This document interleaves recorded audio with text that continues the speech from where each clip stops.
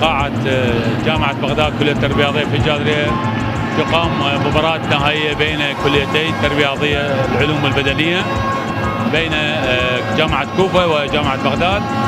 وهذه طبعا تعد ضمن باكورة مهمة لغرض إقامة هذه النشاطات اللا صفية هناك مثل ما تشاهدون جمهور من طلبة. لجامعتين وجمهور من اساتذه جامعة بغداد وكذلك هناك تغطية إعلامية كبيرة غطت هذه النشاطات الطلابية. نحن كاتحاد رائد جامعية نرحب بمثل هذه الأفكار نرحب بمثل هذه المباريات السباقات البطولات. نتمنى يكون هناك سباقات أخرى عن نمط آخر فعاليات أخرى. فعاليات فردية فعاليات فرقية. ونشكر عماد الرياضيه بإقامة هذه النشاطات ونشكر اساتذه الجامعة بدعم كبير مثل هذه الأنشطة الرياضية الكبيره لهذه السنة.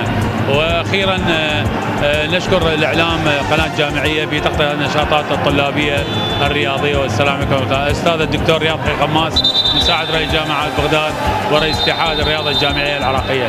شكرا بسم الله الرحمن الرحيم. قامت لجنة عمداء كليه التربيه البدنيه وعلم الرياضة في العراق. هذا التجمع الرياضي الأخوي اللي لم شمل كل طلبة كليات التربية البدنية وعلوم الرياضة في رعاية جامعة بغداد كلية التربية الرياضية.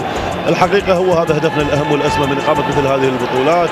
هو لم شمل شبابنا رياضيين أكاديميين. لأن مثل هذه البطولات هي من شأنها تزيد أواصر التعاون والمحبة وخصوصا مشاهده مشاركة العديد من الفرق المحافظات الساخنه تكريت والأنبار ونينوى.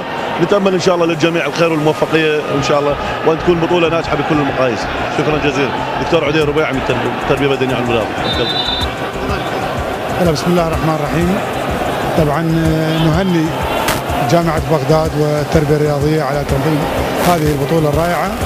وفي هذه البطولة حقيقة هي الطريق الوحيد والأسلم لتطوير أو تطور كرة القدم بشكل عام؟ دورنا. نحن جئنا لمؤازرة فريق جامعة الكوفة على النهائي مع جامعة بغداد وننتظر النتائج النهائية.